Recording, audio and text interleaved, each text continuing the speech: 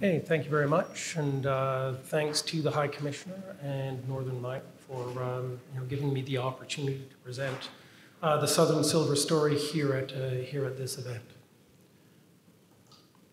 Uh, first, of course, the forward-looking statement. Uh, of course, a number of things that I'm going to say today are going to be aspirational in nature and prospective, and they really should be taken as such and uh, in due consideration.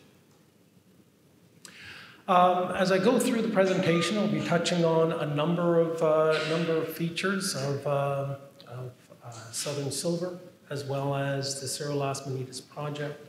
Uh, of course, the project itself, the people behind the project, uh, the access to capital and how we've been able to get money into the ground. And then, of course, uh, also uh, the growth potential of the project and the ability that we've shown over the last several years of being able to convert exploration targets into, uh, into mineral resources in the, in the ground. So Southern Silver Exploration Corp, we're Vancouver-based uh, group of mine finders with uh, you know, long-term success in Mexico and a focus on developing shareholder value through exploration and discovery. We, with our uh, joint venture partners, Electrum Global Holdings, are uh, focused on establishing our Cerro Las Minitas project, located in Durango, as one of the premier polymetallic projects in, uh, in Mexico. And how we're doing that is by continuing to build resources uh, through, uh, through exploration. In May of uh, this year, we announced an updated resource to Cerro Las Minitas at a 175 silver equivalent cutoff. we Uh, produced uh, or identified 272 million silver equivalent ounces in both the indicated and inferred categories. Uh, it's about 49% in indicated, 51% inferred.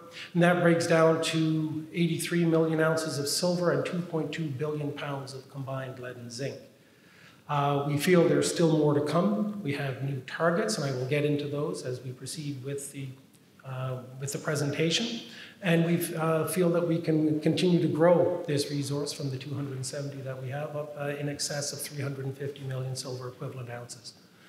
Our cash discovery cost is uh, now seven cents an ounce silver, or uh, literally a silver equivalent, or literally half a penny a pound zinc equivalent. And so continued exploration, continued resource growth, even within this market, seems like a, a pragmatic way of, uh, of, growing the company and the asset uh, organically. A little bit of corporate information here. Uh, we have uh, 60, uh, sorry, 96 million shares issued and outstanding, 160 fully diluted. Uh, and in terms of ownership, uh, Electrum Global Holdings um, has both a piece of uh, the Cerro Las Minitas project, but also a 36% equity interest in, in the company. And then friends and family have, have another 10% interest in the, or in equity interest in the company.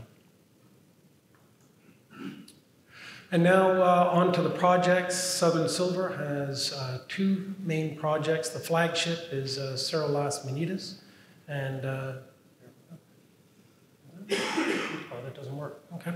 Cerro Las Minitas, located in, uh, in Durango, uh, Mexico, as well as uh, the Oro project in, in southern New Mexico. Cerro Las Minitas is the flagship of the company. Uh, and we continue to advance this towards a uh, production decision. The property is 100% owned by the joint venture. We have good and strong financial backing from the Electrum Group, uh, since acquisition in late 2010, we've uh, put $18.5 million into, uh, into the ground in acquisition and exploration on the, um, uh, on the project. And we have new targeting that we look to uh, reach our next milestone of uh, 350 million silver equivalent ounces in, in the near to midterm. The Oro project, which I'll refer to right at the end of the presentation, is a large laramide porphyry copper system uh, with some gold targets, adjacent gold targets, and we're currently looking for a partner to, uh, to help us out with, uh, with that project as well. Uh, and so now on to the flagship Cerro Las Minitas uh, in terms of the project history. Uh, we first optioned the project in, the, in late 2010 and started exploration in earnest in, in 2011. and as you see from this slide, we uh, you know, show investment as well as uh, the different milestones and the project growth that we've been able to achieve uh, really since um, uh, March 2016. And so uh, we've continued to upgrade the resource from 110 to 208 to 272 million silver equivalent ounces and, uh, and, and really looking at taking our exploration targets and converting them into resources on the project. And uh, we look to be doing that again and again as we move the project forward. Uh, in terms of the, the, the, metals, this is a uh, polymetallic deposit. Uh, it's a skarn deposit, so it's silver, lead, zinc uh, with a small bit of uh, small bit of copper. Uh, zinc makes up around 50% of the uh, of the resource, and uh, and then silver, lead, and copper make up about the other the other 50%. And as you're probably already aware, in terms of uh, outlook for those metals, in in you know the balance of this year and going into 2020 looks looks quite good, and with supply deficits in zinc and now in silver and copper moving forward in, in into 2020. Uh, the people involved with the project, and it's always important to have the right people.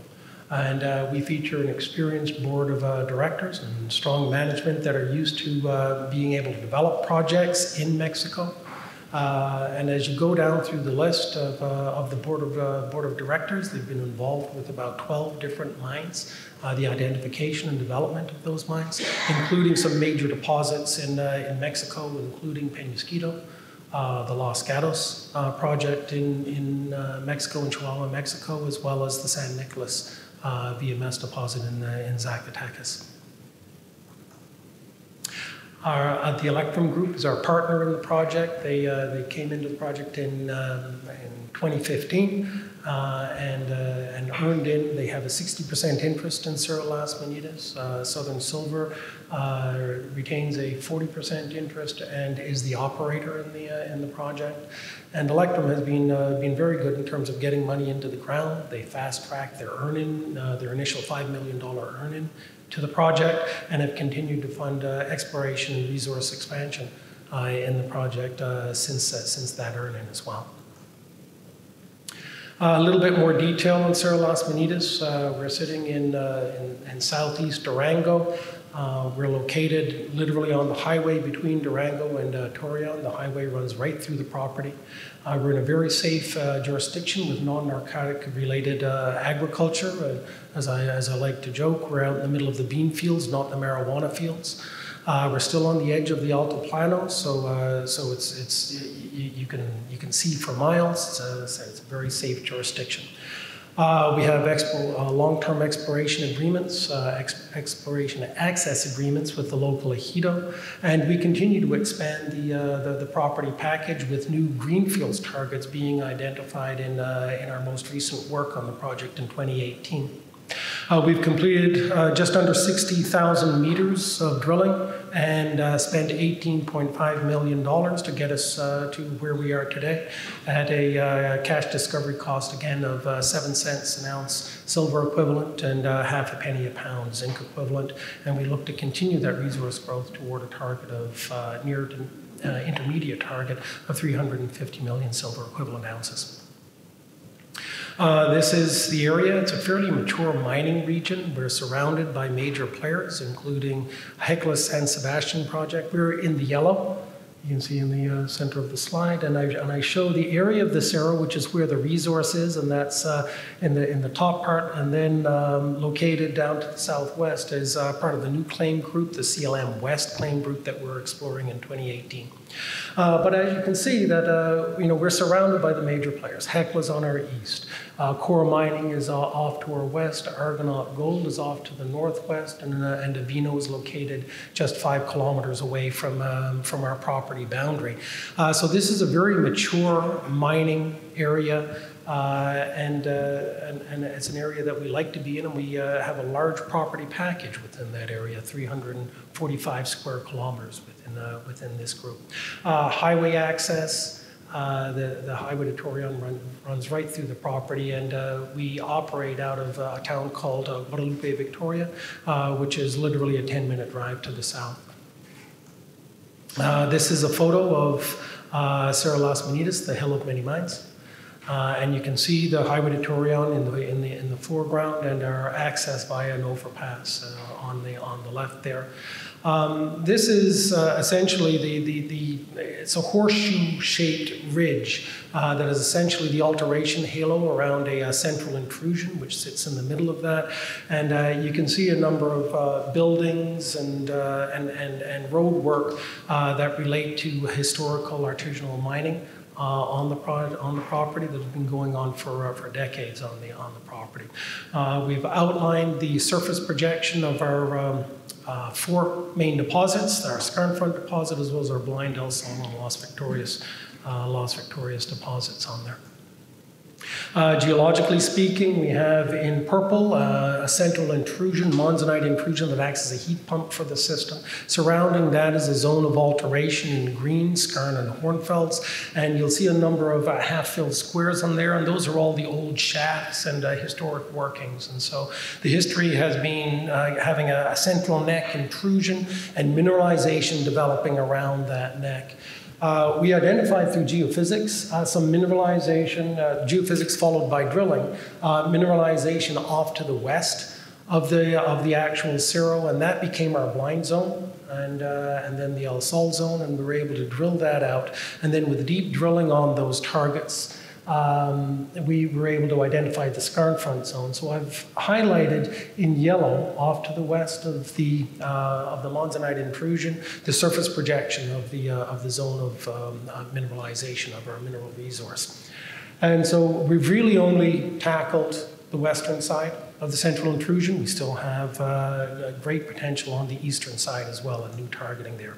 This is the, uh, the resource, and so it's 134 million silver equivalent ounces in the indicated category and 138 million silver equivalent ounces in the inferred category. Um, the main thing with the slide here is that you see the Skarn Front deposit now uh, accounts for 74% of the, uh, of the total resource. It is also the higher grade mineralization. It's also the thicker mineralization will lend itself to the underground mining scenario that we feel is appropriate here at this, uh, this deposit. In terms of further resource expansion that I've alluded to a number of times in the talk, uh, I've just shown a couple of the targets here in the dashed lines, a further extension to the southeast of the Las Victorias target, and then on the eastern side we have the, the South Skarn and the Mina La Bacona targets, and these are areas where I feel that, uh, that we can continue to add to the resource base of the project. Uh, we also have some greenfields discovery potential. Uh, you can see the area of the Cerro up in the top of the graphic, and then about 15 kilometers away is the, uh, some of the um, the, the, vein structures that we've identified at the CLM West target. And uh, here we've identified up to three meters of 168 gram per ton silver, as well as uh, 1,000 plus arsenic, 1,000 plus antimony uh, within some of the drilling on these, on these targets. Uh, we believe we're high up in an epithermal system similar to the adjacent Avino mine. And uh, this, uh, this represents new greenfields discovery potential on the, on the project that we will get to as well. Uh, we have uh, good and strong metallurgy, three concentrates being identified in the main Skarn Front deposit and two being identified in the Blind El Sol deposits. Uh, we're, we're, seeing excellent recoveries coming from those and a good distribution of silver into the, uh, the main payable concentrates of lead and, uh, and, and copper. And then this is the Oro property, very, very quickly, because I've got uh, less only about 30 seconds, if that. Uh, and then this is a large laramide porphyry system. Uh, it's about six square kilometers of alteration around the main porphyry target. And then as you move outboard from that, uh, silver, lead, zinc targets, as well as gold targets, even, uh, even further outboard. Uh, it's going to take a bit of money to, to, to bring that into, into resources. And we're looking for a partner to, to help us do that.